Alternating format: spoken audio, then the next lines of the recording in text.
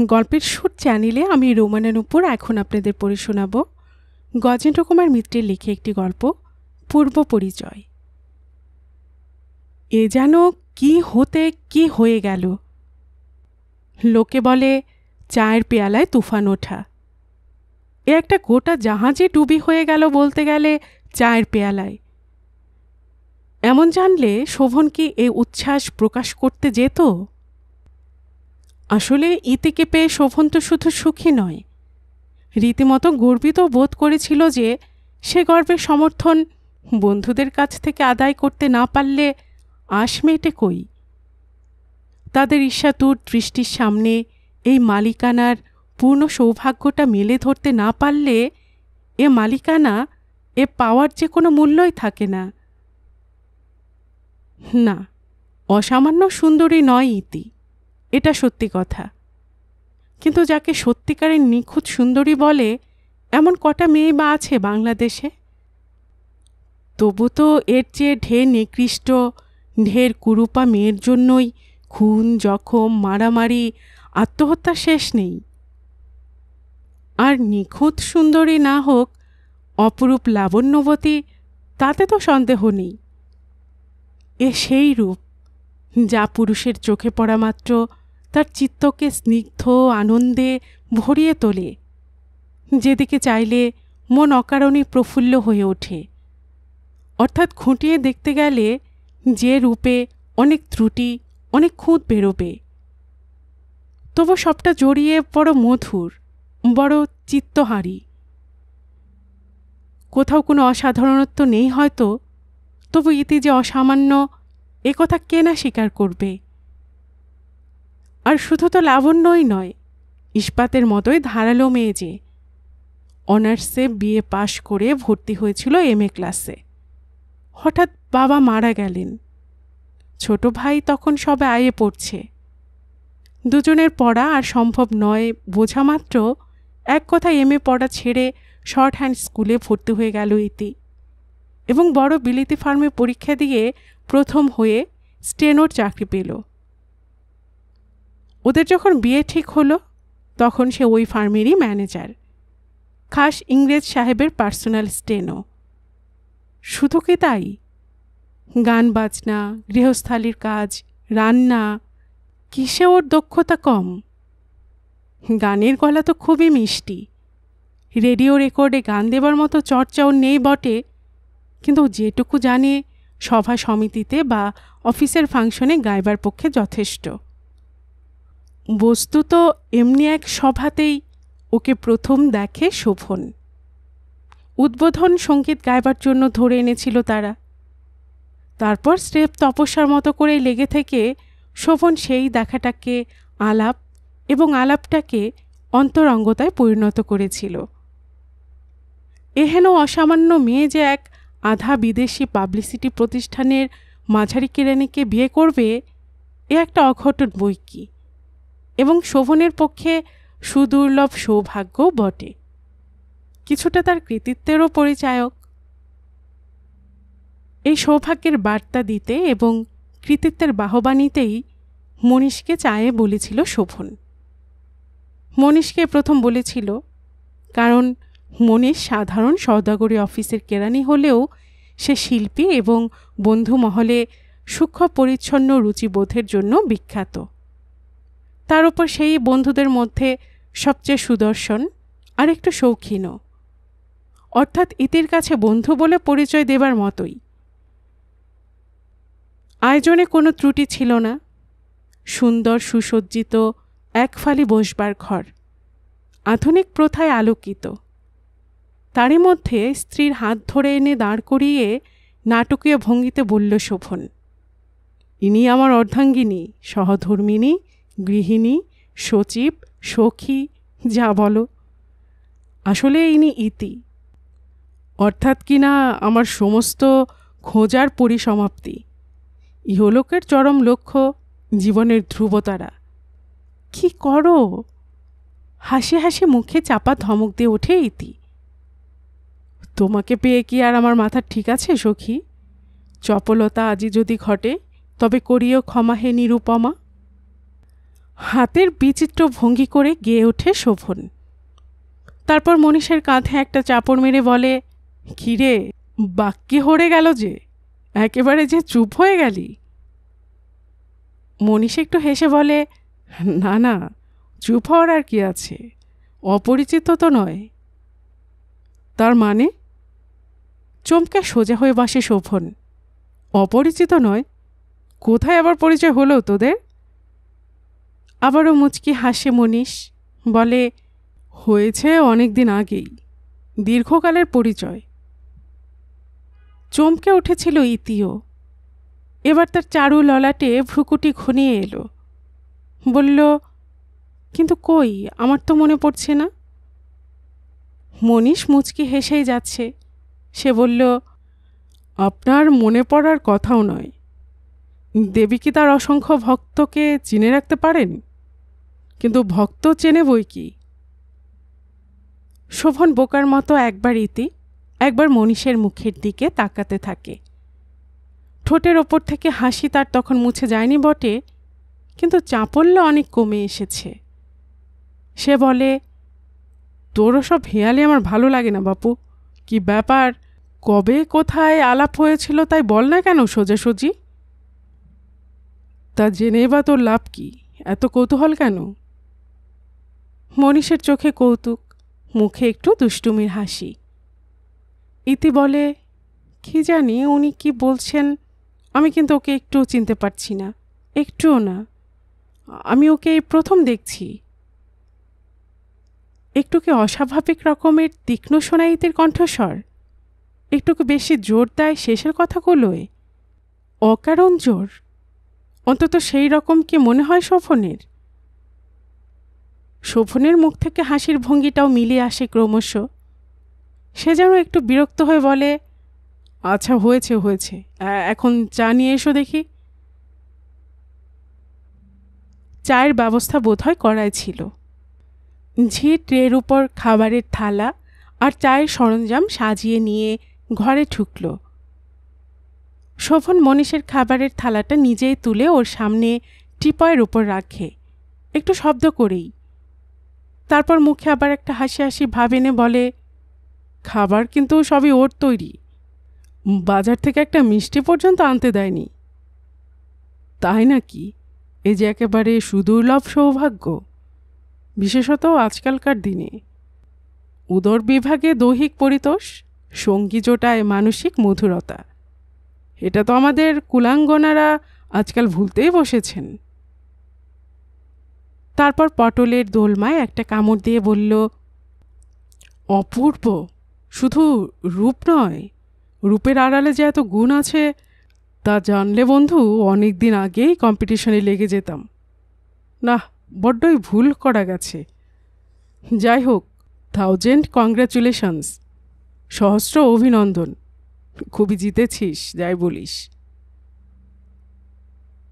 মনের মেঘ পাতলা হয়ে আসে শোভনের। মুখের হাসিতে প্রসন্নতার আভাস লাগে। সে স্ত্রীর দিকে চেয়ে হেসে বলে, আমি কি তপস্যা কম করেছি রে? তবু তোর গুণের এখনও পরিচয় পাসনি। সে যা জুয়েল। ইতে কিন্তু তখনও গুম খেয়ে বসেছিল। এবার সে একটু ঝাঁজের সঙ্গে বলল, তোমাদের এই কথাবার্তাগুলো আমার কাছে আদৌ রুচিকর নয়। তা আমি বলতে বাধ্য হচ্ছি। উনি তো গোড়াতে একটা বাজে কথা বলে আলাপের সূত্রপাত করলেন। তারপর আবার এমন সব কথা বলছেন, আমি যেন নিলামের ডাকের জন্য প্রস্তুত হয়ে পড়েছিলাম। উনি ডাকেননি বলে আফসোস করছেন। ইতিরে আকস্মিক রূঢ় ভাষণে শোভন একটু অপ্রস্তুত হয়ে পড়ে। ব্যাকুল কণ্ঠে কি একটা বলতেও চায়, কিন্তু তাকে ইঙ্গিতে নিরস্ত করে মনীষ। হেসেই বলে, ভুল করেছেন আপনি। বাজারের জিনিস দাম দিলেই পাওয়া যায়, তার জন্য প্রতিযোগিতা করতে হয় না। বর্বণিনীর অনুগ্রহের জন্য সেকালে রাজা মহারাজা নাইটরা প্রতিদ্বন্দ্বিতায় অবতীর্ণ হতেন। সে গৌরবেরই কথা। আর প্রথম কথাটা একটু বাজে বা মিথ্যে নয়। আপনি বিশ্বাস করুন, আমি আপনাকে অনেক দিন ধরেই চিনি। কিন্তু আমি আপনাকে একটুও চিনি না। বলতে বলতে উত্তেজিতভাবে উঠে দাঁড়ায় ইতি। কোনো দিন দেখেছি বলেও মনে পড়ছে না। আর আমি যতদূর জানি আমার স্মৃতিশক্তি খুব একটা খারাপ নয়। ততক্ষণে খাবার শেষ করে চায়ের পেয়ালা টেনে নিয়েছে মনীষ। সে উত্তর দিল না। শুধু প্রশান্তভাবে ইতির আরক্ত উত্তেজিত মুখের দিকে চেয়ে মুচকে মুচকে হাসতে লাগল। শোভনের কিছু পূর্বের প্রসন্নতা আবার যেন মিলিয়ে এলো। সেও ভ্রু কুঞ্চিত করে বলল, কোথায় তোদের পরিচয় হয়েছিল তাই বল না বাপু। তাহলে তো গোলমাল মিটে যায়। ওকেই জিজ্ঞাসা কর না, ওর তো খুব স্মৃতিশক্তির গর্ব। সেই শক্তি একটু প্রয়োগ করুন না। ইতি মনীষের দিকে পেছন ফিরে দাঁড়াল একেবারে। বলল, আমার যা বলবার তা আগেই বলেছি। এক্ষেত্রে হয় আমি মিথ্যে বলছি, নয় উনি বলছেন। এটাই বুঝতে হবে। ওকে মিথ্যেবাদী বলতে চাই না, অথচ আমি অকারণে মিথ্যে কথা বলছি। এটাও মানতে প্রস্তুত নই। অতএব আমার আর এখানে না থাকাই ভালো। সে দুই কাঁধের একটা বিচিত্র ভঙ্গি করে ঘর থেকে বেরিয়ে গেল। শোভনের অবস্থাটা অতপর হয়ে ওঠে অবর্ণনীয়।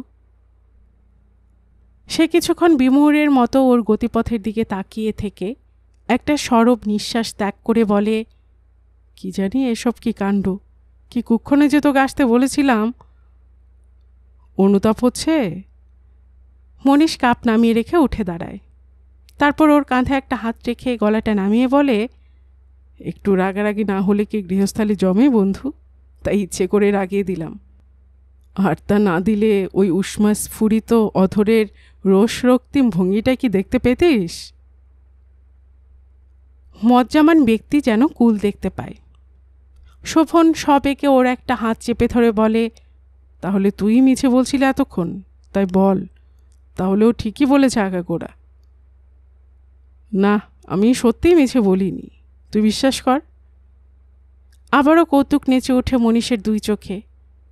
তারপর বোধ করি বন্ধুর বিয়ভল ঘরমাক্ত মুখের দিকে তাকিয়ে মায়াই হয় শেষ পর্যন্ত। হাহা করে হেসে উঠে বলে, হায় বোক চন্দর কথাটা ধরতেই পারলি না। আমি ওকে চিনি, তাই বলেছি। আলাপ হয়েছে এর আগে, তা তো বলিনি একবারও। বলি, আমি আগে কোন অফিসে কাজ করতুম, তা ভুলে গেছিস? তোর বউয়ের অফিস আর আমার অফিস একই বিল্ডিংয়ে ছিল যে। পুরো দুটি বছর এক দৌড় দিয়ে ঢুকেছি, এক সিঁড়ি দিয়ে উঠানামা করেছি, এক লিফটেও চড়েছি কতদিন। আর অমন লাভলি মেয়ে, কে কোথায় থাকে, কোন অফিসে কাজ করে, সে খবরটা নেব, এও তো স্বাভাবিক। বুঝলে বোকারাম, কেন ওকে চিনি বলেছি? সত্যি সত্যি যেন একটা বোঝা নেমে যায় শোভনের বুক থেকে। বিশ্রে একটা অস্বস্তি থেকে মুক্তি লাভ করে সে। সেও খুব খানিকটা হাসে হাহা করে। বলে, সত্যি তো আমি একটা আস্ত গর্ধ এ যোগাযোগটা একবার মনেই পড়ল না, স্ট্রেঞ্জ? সে যেন কৃতজ্ঞ চিত্তে মনীষের সঙ্গে সঙ্গে এসে ওকে বাসে তুলে দিয়ে যায়। কথাটা বলার আগে রহস্যটা আরেকটু ঘনীভূত করে আরেকটু মজা দেখাবার ইচ্ছে ছিল শোভনের। কিন্তু ঘরে ঢুকে জালনার কাছে বসে থাকা ইতির কঠিন মুখের দিকে চেয়ে আর সাহসে কুলল না। বরং গলায় অস্বাভাবিক একটা চটুলতা এনে হাসি হাসি মুখে বলল, ছোকরা আমাদের আচ্ছা বোকা বানিয়ে গেল। অবশ্য এটাকে আমারই ভুলের মাসুল বলা যেতে পারে। আসলে কি ব্যাপার জানো? মনীষ এখন যে অফিসে কাজ করছে, তার আগে বছর দুই স্ট্যান্ডি গার্ডনারের অফিসে কাজ করেছে। তোমাদের ওই বিল্ডিংয়েরই চারতলায় অফিসটা সেই সময়েই বহুবার দেখেছে তোমাকে। এক পথে যাওয়া আসা ছিল তো, সেই কথাটা একটু ঘুরিয়ে বলে মজা দেখছিল। চিরদিনই সমান পাজি ওটা। ইতির মুখের পাষাণ কাঠিন্য তবু দূর হয় না। সে তেমনি অপ্রসন্ন, শুষ্ক স্বরে বলে, কি জানি, আমার একটুও মনে পড়ছে না। ওকে কখনো দেখেছে বলে বোধ হচ্ছে না। শোভন যেন কেমন থতমতো খেয়ে যায়। স্ত্রীর এখনও এই অহেতুক উষ্মার কোনো কারণ খুঁজে পায় না। খানিকটা চুপ করে থেকে সে আস্তে আস্তে বলে, কে জানে কেন মনে পড়ছে না। ও অফিসে মনীষ কাজ করেছে ঠিকই। আমি কতদিন গেছি ওখানে ওর সঙ্গে দেখা করতে। আমার আগেই মনে পড়া উচিত ছিল। তা হবে হয়তো, কি জানি? কিন্তু এর প্রসঙ্গ আপাতত থাক, প্লিজ, অন্য কথা পারো। জোর করে যেন সহজ হতে চায় ইতি। কিছু পূর্বের তিক্ত স্মৃতিটাকে ঝেড়ে ফেলতে চায় প্রাণপণে। হালকা হয়ে ওঠে শোভনও, বলে, যা বলেছ, কি কুক্ষণে যে ওটাকে নেমন্তন্ন করেছিলাম, বরাবরই ওর ওই স্বভাব অবশ্য। মিচ্চিপ করতে পারলে আর কিছু যায় না। তবে খুব সাংঘাতিক ধরনের নয় ও। তামাশাই ভালোবাসে, আর তাই করে। ওর সঙ্গে মিশলেই টের পাবে, মনটা ওর খুব ভালো। থাক, তোমারও বন্ধুর সঙ্গে তুমিই মিশো, আমার দরকার নেই। ওই ধরনের দাঁত বার করা, গায়ে পড়া মানুষ আমি দু চোখে দেখতে পারি না। আবারও কঠিন হয়ে ওঠে ইতির কণ্ঠস্বর। সে যেন কতকটা উত্তেজিতভাবে উঠে দাঁড়ায়। শোভন ব্যস্ত হয়ে প্রসঙ্গটা পাল্টে দেয়। বলে সে যাকগে, মরুকগে। এখন খাবারগুলো নষ্ট করে কিছু লাভ আছে? এসব খেয়ে নেওয়া যাক। অনেক চেষ্টা করে আবারও প্রকৃতিস্থ হয় ইতি। আস্তে আস্তে বলে, ও তো ঠান্ডা জল হয়ে গেছে, সব খেতে পারবে?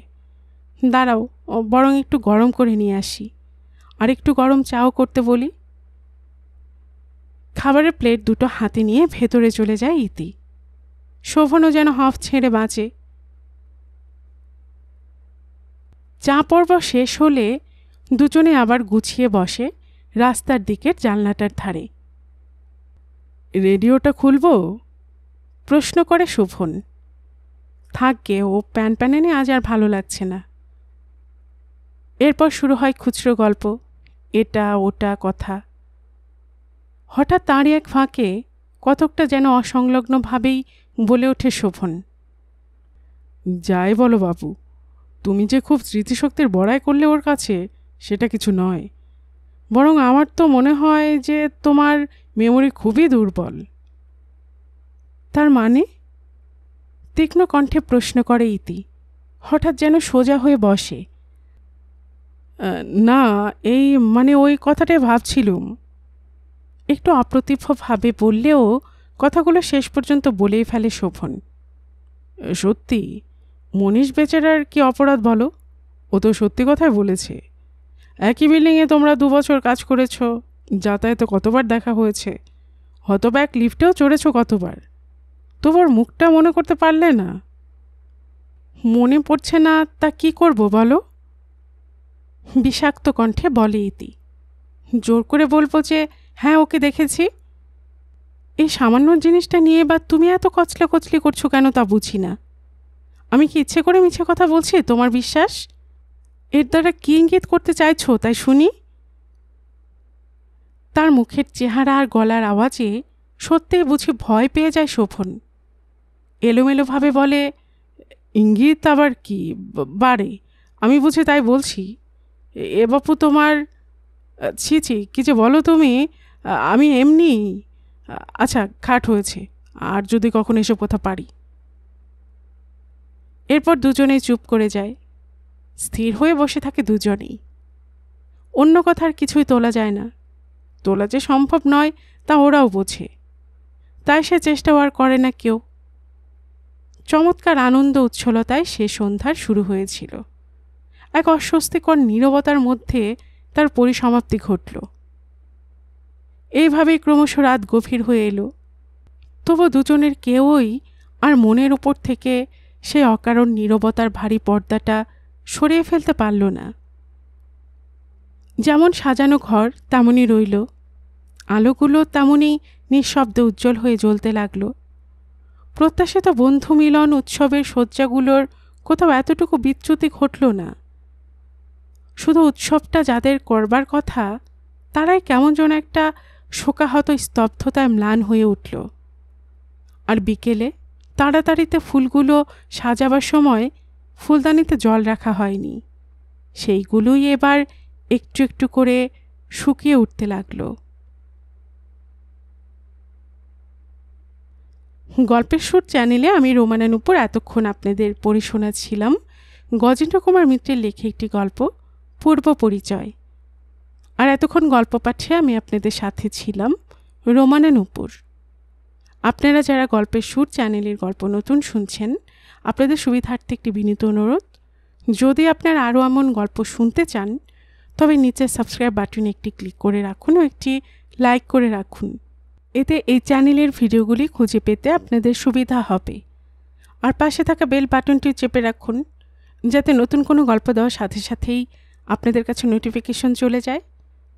সবসময় সবাই খুব ভালো থাকুন সুস্থ থাকুন আনন্দে থাকুন। এই প্রার্থনা রইল।